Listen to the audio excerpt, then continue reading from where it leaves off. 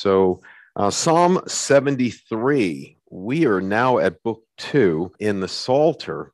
Uh, now, you may know that uh, the psalm breaks down into uh, five books. And so the first two books we've gone through, the first two books are heavy with David's Psalms. If you remember from our last one, Psalm 72, it says the end of David's prayers. That could give you the impression that no more Psalms are there for David, and that's not true. He's going to have Psalms in book three, book four, and book five.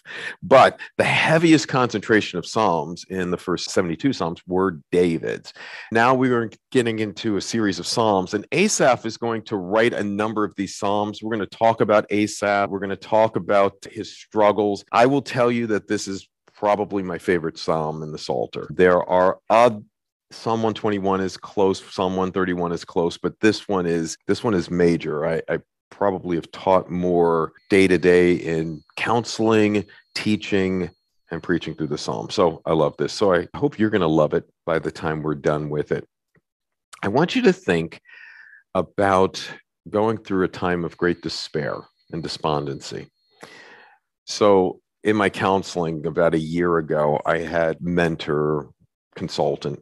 He wanted me to try to put my counseling down into one sentence. And, and he says, I, I want you to spell out what you do in counseling. I want you to spell out what you do in teaching in one sentence. And it sounded really easy to me, very honestly. Initially, it's like, you got to be kidding me, one sentence. But then I actually tried to get it into one sentence, and this was not easy at all. And so here's the sentence that I came up with. And uh, the sentence goes this way I help people where pains from their past or their present is influencing their perspective on life by teaching them about a person, principles and promises, and giving them a pathway for change so that they can have peace, hope, and joy in their lives. Okay, so I help people, number one. And the people that I help are in pain. The pain is either from their past or their present.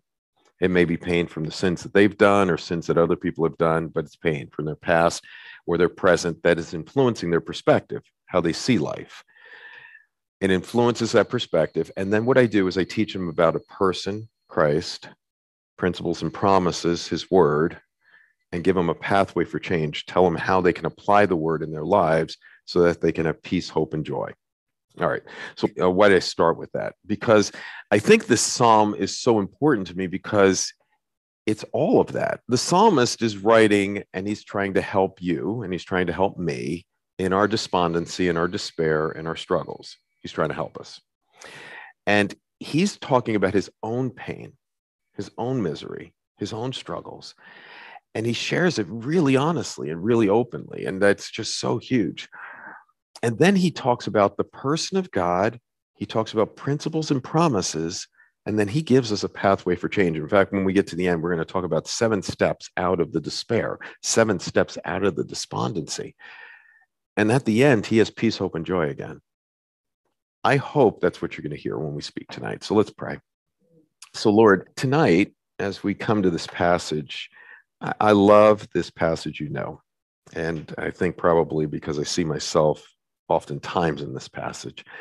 And I've got to go back and get back into the sanctuary. I got to get back into hearing your words so I can get clarity.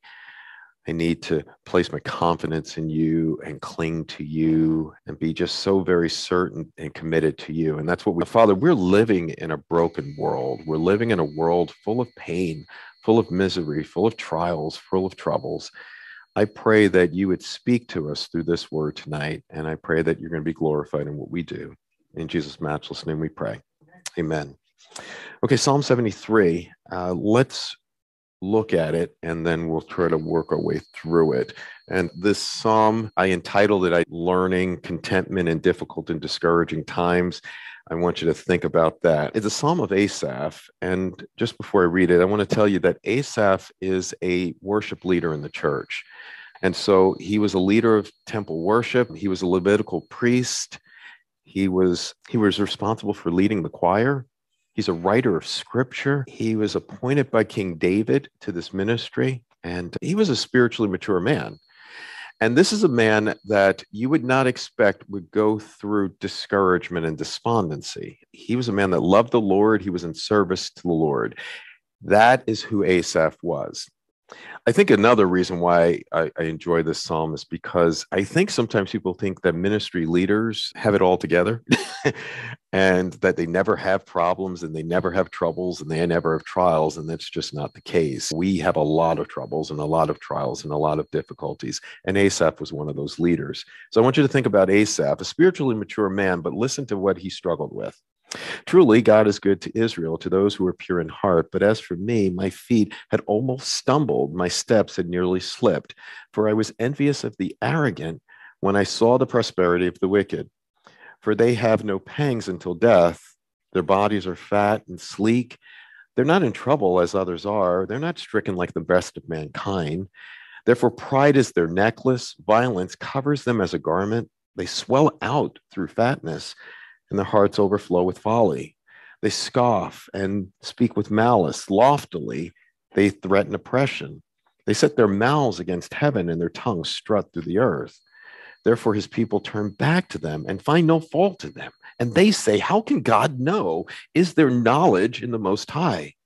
Behold, these are the wicked, always at ease. They increase in their riches.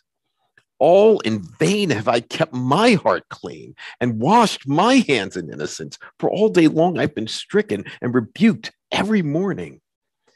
If I had said, I will speak thus, I would have betrayed a generation of your children. But when I thought how to understand this, it seemed to me a wearisome task until I went into the sanctuary of God. And then I discerned their end. Truly, you've set them on slippery places. You make them fall to ruin. How they are destroyed in a moment, swept away utterly by terrors, like a dream when one awakes. O Lord, when you rouse yourself, you despise them as phantoms. When my soul was embittered, when I was pricked in heart, I was brutish and ignorant. I was like a beast to you. Nevertheless, I am continually with you. You hold my right hand and you guide me with your counsel. And afterwards, you will receive me into glory. Whom have I in heaven but you? And there's nothing on earth I desire besides you. My flesh and my heart may faint, but God is the strength of my heart and my portion forever. For behold, those who are far from you shall perish. You put to an end everyone who is unfaithful to you. But for me, it is good to be near God. I have made the Lord God my refuge, that I may tell of all your works. So, this is the sufficient, eternal, authoritative, life giving, and life changing word. So, do you ever get to a place where you say, I don't get it? Like Asaph is here. He is at a place where he is really struggling and he is despondent, he is despairing.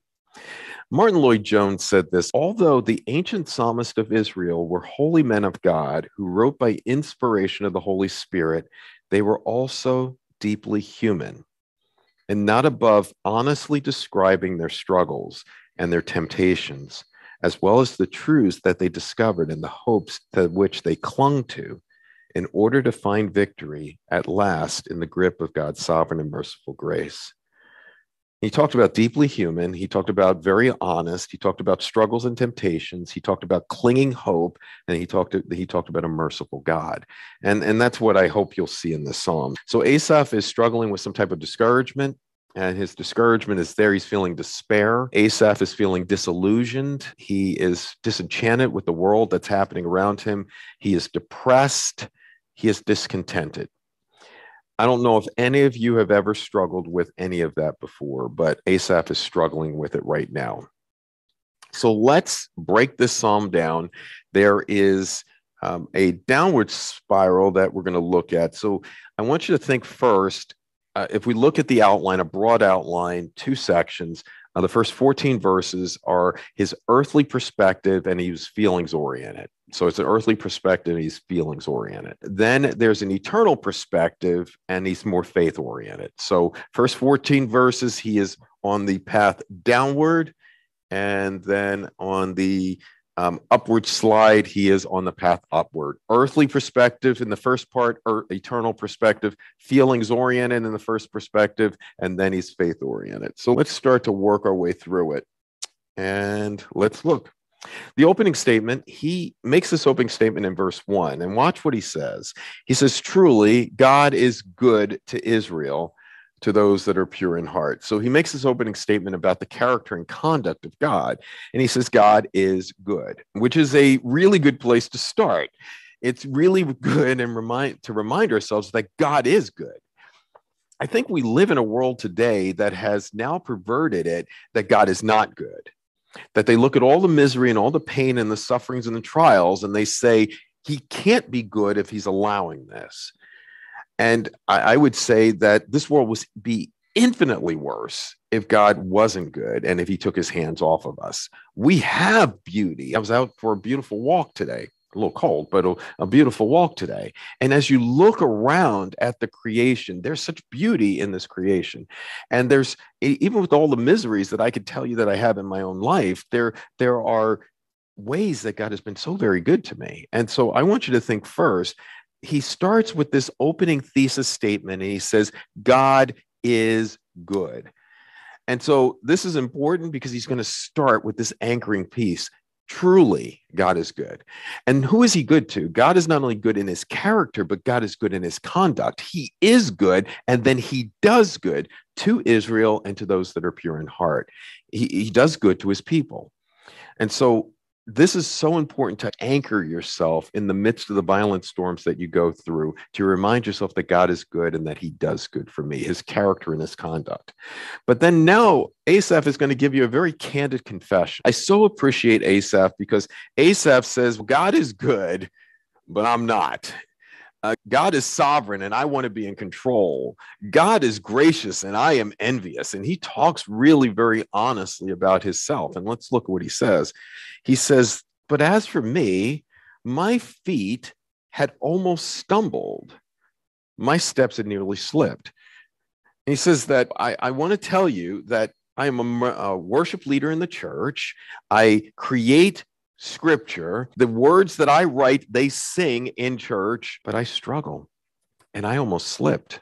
And he says, he tells you why. He says, not only had I slipped, but because I was envious of the arrogant. Asaph recognized that his major problem was envy. And I don't know if you know what envy is, but envy connects to the 10th commandment. How many of you know what the 10th commandment was? You, sh- you shall not covet, right? And so you shall not covet. And he talks about neighbors' wives, anything, all these other things. And so it's desiring, coveting is in essence desiring something that God has not ordained for us to have.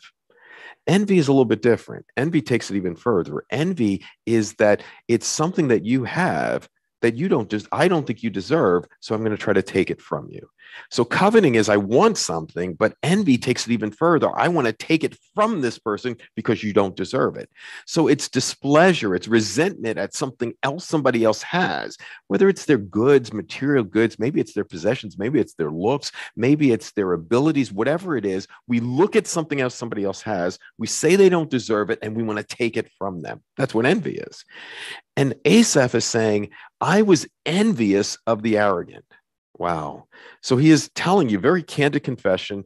I almost slipped. I almost stumbled. I almost fell away. And he was envious. And then what he does is he talks to you about comparison. The writer, Seven Habits of a Highly Effective Person, uh, Stephen Covey, not a Christian, but he wrote a book, Seven Habits of a Highly Effective Person. And in that book, he talked about five emotional cancers, five things that will destroy you.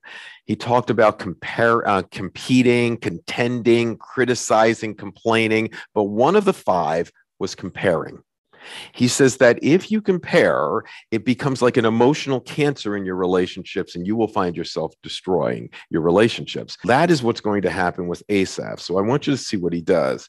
Watch what he says. He starts with looking at their lives, and he says that the wicked's lives, he's looking at the wicked now. He's got an earthly perspective.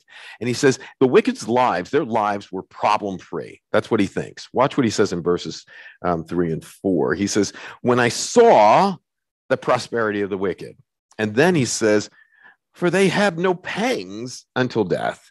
Their bodies are fat and sleek. And it's like, what in the world are you talking about? Pangs and pangs until death. They have no problems, in essence, until death. They live their lives almost problem free. They have no problems at all. They, they have such prosperous lives. They seem to get everything that they want. Do you ever think that way? Do you ever look at the people around you and it seems like that those people that are godless in their lives seem like they're problem free? He goes on in verse 5 and he says, For they are not in trouble as others are. They are not stricken like the rest of mankind. I know some people that have treated their bodies so terribly. I mean, just horrendously. And it's like, I don't know how you've done those drugs. I don't know how you've drunk as much as you have. I don't know how you smoke like a chimney. And you seem to just keep going on year after year after year. And then I know people that would run five miles a day, that would exercise, eat well, and they've got cancer. And it's like, you just don't understand why. So, why is it that their lives, who seem to be so godless, seem to be so problem free, and our lives and the righteous are not? And so Asaph starts and says that their lives seem problem free. And then he says that they're proud. It says this in verse six Therefore, Pride is their necklace.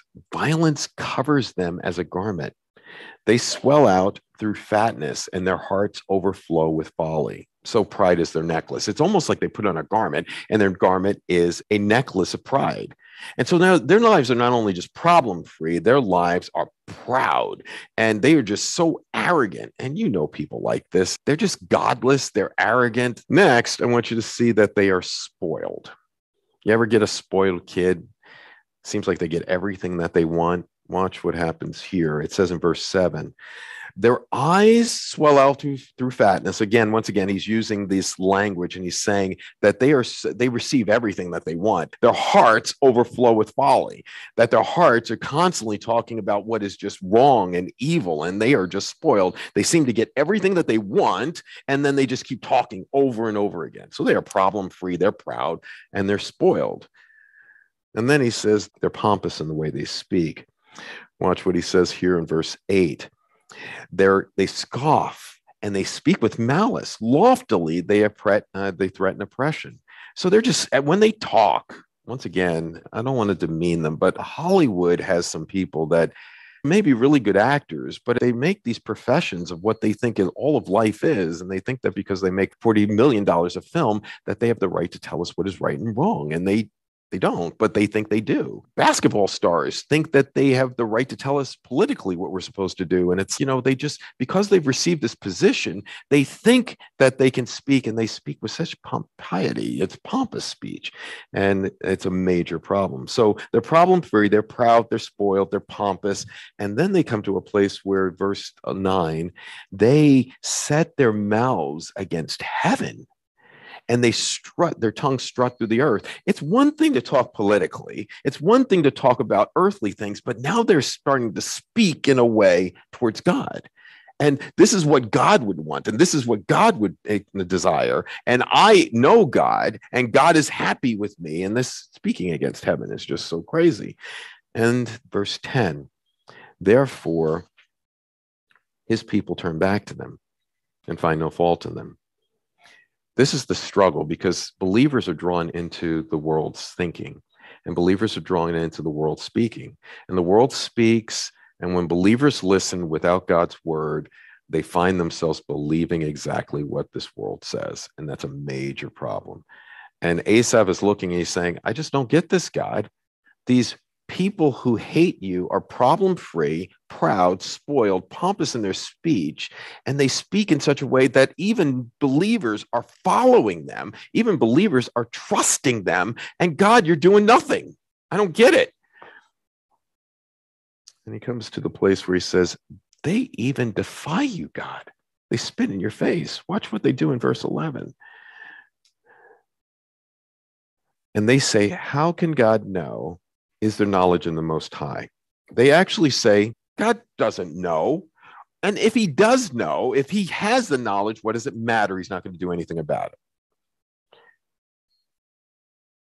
And Asaph is really discouraged because as he's looking from an earthly perspective and his feelings are ramping up, he is struggling with envy. He's looking at their lives and saying, I want their lives and I don't have it. But now Asaph is going to move to another problem. He is going to move to a significant problem. He's going to start by saying that he looks in verse 12 and he says this. He says, Behold, these are the wicked always at ease. They increase in riches. He basically summarizes their problems and he says this I am summarizing them in this way that their lives are pleasurable, they're prosperous, but they're pompous and they're proud. And that's what the world is. The world he sees is they seem like they're getting all the pleasures. They seem like they speak in such prosperous and pompous ways. They are prosperous, but they're proud. So I, I want you to think how often is it that you find yourself comparing yourself to the world, your neighbor, maybe somebody at work? The guy at work or the woman at work that cheated and is getting advancements is not doing the work that they need to be doing. And I've got to do their work and they're getting advancements and I'm not. I just don't get this, God. How is it this person that can just do such evil things seems like they get over and over blessing upon blessing? And for me as a believer, I struggle. Why is it that the health issues, the material issues, the issues that you struggle with and I all struggle with? And so what we do is we get to a place when we're in that earthly perspective, we will find ourselves envious, but then we may find ourselves self pitying. And that's what happens here. He goes to constant suffering in verse 13 and 14. So Asaph is going to tell you about this self pity, his constant suffering. Watch what he says. He says, All in vain have I kept my heart clean and washed my hands in innocence. So Asaph says, I have kept the integrity of my heart and my hands are innocent. And what does it matter? It doesn't matter. For all day long, I have been stricken. I've been rebuked every morning. Have you ever come to a place where you think your Christian life is just not worth it? Very honestly, I have. I pastor, counselor, you sit there and it's like, God, I I don't know why my family has had to struggle with the things that we've had to struggle with. I just don't get it. And when I've gotten to that place, I can know that my perspective is off. My perspective is earthly. It's horizontal. That creates a major problem. Okay, so that's the first half. Whoa, this but this he's spiraling. He really is. He is spiraling. And and what I want you to know is he's spiraling down, but he's going to take some path out. And we're going to start by looking upward, away from the struggles. And I want to give you seven practical steps to conquer your discouragement and discon- uh, discontentment. Seven practical steps. And uh, so we're halfway home. Okay. So in verse 15, he begins his path up. And he starts by ceasing the spiral, which is so important. He ceases the emotional spiral. He ceased it. He said, Stop. In essence, he's just telling himself, Stop it. And I, I have to tell myself that sometimes. James, what are you thinking? And so, stop. He ceased the spiral. Watch what he says. He says, If I had said, I will speak thus, I would have betrayed a generation of your children. Watch this. Sometimes in your heart, whether it's envy or self pity, there's stuff going on in your heart, and sometimes it comes out of your mouth. In fact, I think today we have people that don't care what they say out of their mouths oftentimes. And they say these things and just are so cruel. They say these things to other people. They say these things on Facebook. They say these things in emails. They say these things in, in chat and on text lines. They will attack people. Asaph said, Wake up. Asaph came to a place where he recognized, I can't say this because I would betray a generation of children. But he said in verse 16, it wasn't over yet. He says, When I thought how to understand this, it seemed to me a wearisome task because he, he struggled with the envy within, the self pity that was happening. He knew he couldn't say it to others because he didn't want to trip them up, but he needed to do something about it. So he step number one, he ceased the emotional spiral. The only one that's going to stop you in your emotional spiral is is you. I can't stop you. As a counselor, pastor, I can't make you stop. I can give you a pathway for change. I can tell you the principles and promises. I can tell you about the person of Christ, but it is you that's going to take control of your thoughts. It's you that's going to take control of your words and your attitudes and actions. So that's one of the key things. He says, cease. But then he does this he got into community, which is huge. He went back to church. And what do you mean he went back to church? It's not like he has been out of church. He's been in church. But I will tell you from once again being a pastor, sometimes you can do the church thing because you play the role. And then there are times that you are in church. And he went back to church. He went back into community. And when he went back into community, watch what he says here in the verse. He says, Until I went into the sanctuary of God. So what happens is he started to focus on his responsibilities to others. And he said, if I say this, I don't want to trip them up. And I don't want to trip them up, God, because the world has been tripping them up. I don't want to trip them up. But then he went into the community and he started to think about his relationship with God and his relationship with others. And it's amazing what worship will do. Worship reorients you. Worship puts God back in the center of your vision. And when God is at the center of your vision, everything starts to, you start to see things more clearly. Remember the perspective on life? So Asaph got back into the community. He heard some good preaching. He heard some good singing, and he was really encouraged. And so he ceased the spiral. He got back into community. I would bet you that the vast majority of times when you are struggling with these areas, you don't want to go into the community. So you don't want to go to small group. You don't want to come to the psalm study. You don't want to go to men's or women's groups, or you don't want to come to church service. Isolation. That's right. And the despondency and despair will cause you to go inward and then move you away. And that's exactly what uh, depression wants to do. It wants to move you away. That's exactly where you have to do the opposite. Do the opposite of what you feel. Get into community. That's what Asaph did. So first step, he um, ceased the spiral. Second step, he got into community. Third step, he got clarity. And watch what it says here at the end of verse 17. He says, Oh, I missed it. End of verse 17, until that I discerned their end. And then it says in verse 18, truly you set them on a slippery place. You make them fall into ruin. How they are destroyed in a moment, swept away utterly by terrors, like a dream when one awakes Oh Lord, when you rouse yourself, you despise them as phantoms. And it's almost like that with the rich and these po- prosperous and pompous people, that in a moment they think they're very secure, and you have set them on slippery places.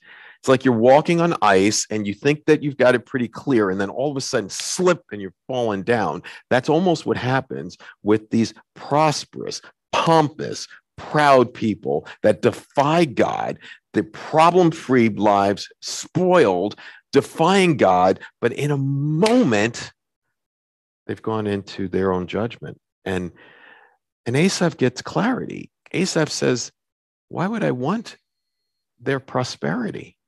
It's gone. Why would I want their proud lives? Why was I envying these Hollywood stars that are going to be there tonight? Why? And Asaph started to get clarity. He ceased the spiral, he got into community, and then he got clarity. He started to wake up to the reality. What's their end? These godless people, what is the end for the godless? They will take their last breath and they will stand before God as their judge, not as their savior, but as their judge.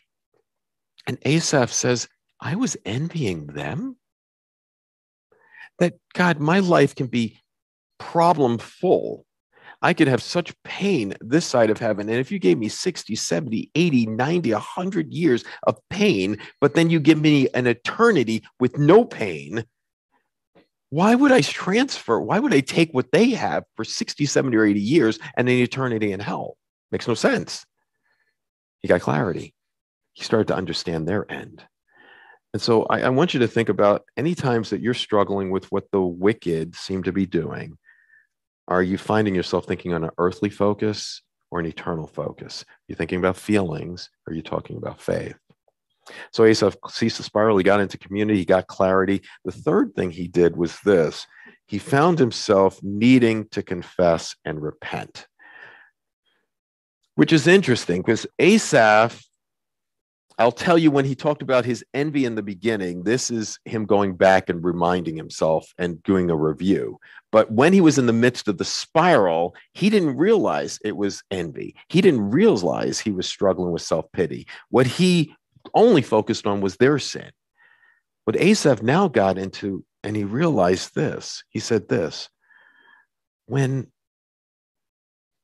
I lost my verse, when my soul was embittered, when I was pricked in heart, I was brutish and ignorant. I was like a beast to you. You ever find yourself despondent and despairing, and now you're starting to get angry with God?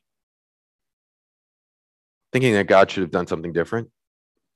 God, I can't believe you've given me this. I can't believe it. And all the complaints and the criticisms, all those things that we do, with like the nation of Israel, God has given us freedom and we want to go back to Egypt. God has given us manna and we want something else. God has given us quail. We want something else. God has given us a promised land. We said we're not ready. We just like the nation of Israel because that's us.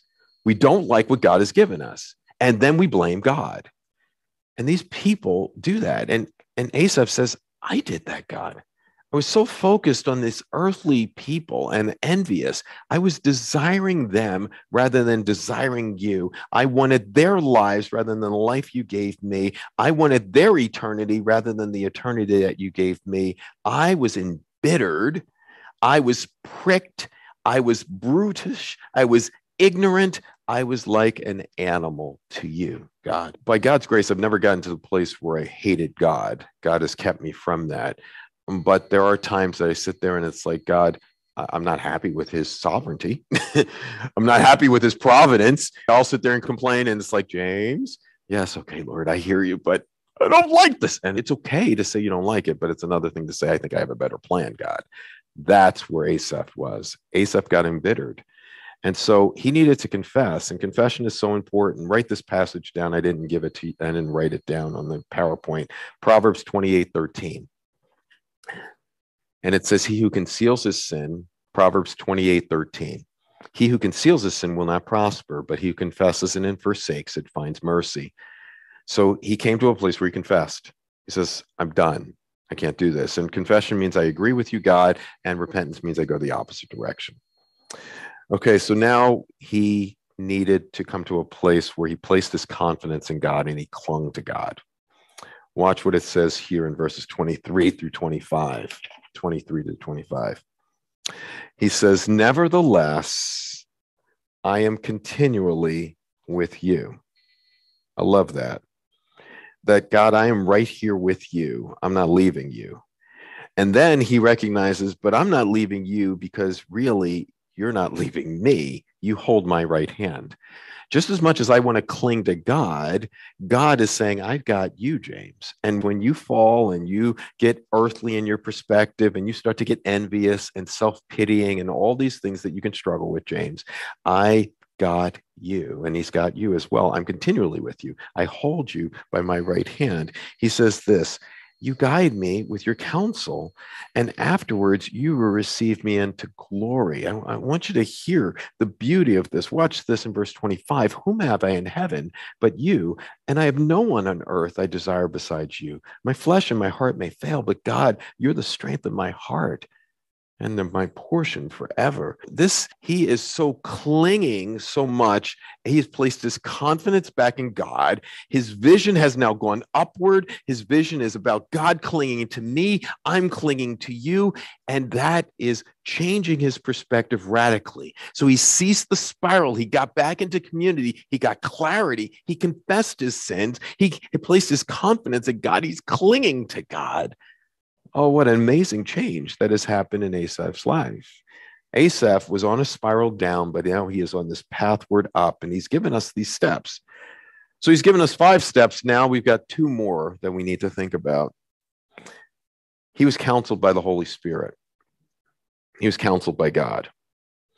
Some people come to me for counsel, but I often say that the person that you really need to counsel with is daily sessions with the Holy Spirit. That we do need earthly people to mentor us and disciple us and work through with us. But the person, the real counselor is not James Long. The real counselor is the Holy Spirit, taking God's word in his hands, in your hands, and working in your heart to change you radically. And so he's watched with the verses, you guide me with your counsel. And afterwards, you will receive me into glory. What a beautiful word that God is going to counsel you by his word, and then he's going to take you, he's going to counsel you all the way to glory. His last step is also important. Asaph committed his way to God. He committed his way. Watch the final verses here. He says, My flesh and my heart may fail. Asaph recognized that I, I sin my body's breaking down, which it is, but my heart will often fail. But God, you're the strength of my heart and my portion forever. For behold, those who are far off from you shall perish. Now he's getting that perspective again, the eternal perspective. You put an end to everyone who is unfaithful to you. But then he says, watch in verse 28, but as for me, it is what? Good to be near God. Remember where he started this? God is what? Good. And he ends it with, It is good to be near you. I've made the Lord God my refuge, that I may tell of all your works. So I want you to think about this. I want you to think about the gospel. I want you to think about the gospel in this passage because um, he starts, and let's go back to verse 23. And he says this watch what he says, because justification is where you are saved, it's the initial part of your salvation. And he's saying, in essence, God, you saved me, you brought me to yourself, you uphold me. Watch what he says in verse 23 Nevertheless, I am continually with you you hold my right hand. It's in essence saying god you you saved me. You are holding me. You brought me to yourself. You brought me into a relationship with you and you're holding me. That's what real salvation is. That's what happens with justification. God declares you not guilty. He brings you into a saving relationship and he says i'm going to hold you until eternity. So justification. Sanctification. Next verse you guide me, verse 24. You guide me with your counsel.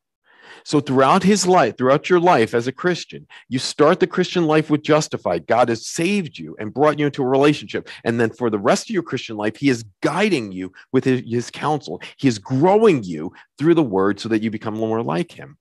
And then glorification. He takes you to heaven. You receive me into glory your salvation right there. Asaph is in essence saying, I'm stopping the envy. I'm stopping the self pity because he went back to the gospel that he knew at the time you and I know a great, much greater about the gospel than he did. We know that we're justified because Christ lived a perfect and righteous life, died for us, took our envy and our self pity upon himself, took the wrath of God upon him for our sin, lived a perfect life, died a substitutionary death, rose victoriously, is in heaven right now, ascended and is in heaven right now, interceding, and he will return as the reigning king. We know that. Asaph only knew a portion of that, but Asaph says, You saved me, you are sanctifying me, and you're going to take me to. I wonder if you're struggling with despondency and discouragement, have you found yourself thinking on an earthly level? Number one. Have you been driven by your feelings? Number two. And have you found yourself forgetting about the eternal perspective and about faith in God? Remind yourself of the person of God, remind yourself of the principles and promises, and put yourself back on the pathway of change. And maybe these seven steps are part of the pathway that will get you out of this. God wants to do something amazing in your life. So, what you see today just doesn't make sense. I get it. It doesn't make sense to me at times. But we have a God who makes sense out of all of it. He says, I can bring beauty out of ashes. I want you to remind yourself of uh, Good Friday. We call it Good Friday. Why? I don't know. I guess we call it Good Friday because Jesus Christ, because Christ lived and died for us. But we only call it Good Friday because of the perspective of Sunday. I bet you none of the disciples were sitting there on Friday night saying, Well, this has been a good Friday. And they weren't thinking on Saturday, it's been a really good Saturday. And even on Sunday, they were puzzled. But then when they saw their risen king, it now becomes a Good Friday. Their perspective changed. So I help people where pains from their past or their present is influencing their perspective on life by teaching them about a person, principles and promises, and giving them a pathway for change so that they can have peace, hope, and joy. That's my job, but that's your job as well. All of us are supposed to be in that same job. Help people. And a lot of people are in pain. Teach people about Christ, the person, teach people about principles and promises, give them a pathway for change, and see not only peace, hope, and joy in your life, but see renewal of peace, hope, and joy in their lives. So exciting. It really is. It's hopeful. So let's pray. Father, I thank you that you are good. You're not only good in character, but you're good in conduct. You do good for us when we don't deserve it. Father, I praise you for that. I thank you for the honesty that Asaph had. This spiritual leader was willing to be honest and saying, I struggle with self pity and I struggle with envy. My perspective has been off because I've been thinking about this earth and I've been thinking driven by my feelings. Lord, please forgive me. And then Asaph started to think and he got out of the spiral. And he got out of the spiral because he started to think about others instead of himself. And he got into community and he saw clarity more. And he got to a place where he confessed and he clung to you. He placed his confidence in you. And he was counseled by you. And he committed his way to you. Lord, I pray that more than just seven steps on a piece of paper, I pray that these would be practical applications in our lives. So do a work in us, Father, and then do a work through us. I thank you for healing. I thank you for love. I thank you for your faithfulness in the midst of our unfaithfulness. I thank you for the good news of the gospel. In Jesus' name we pray. Amen.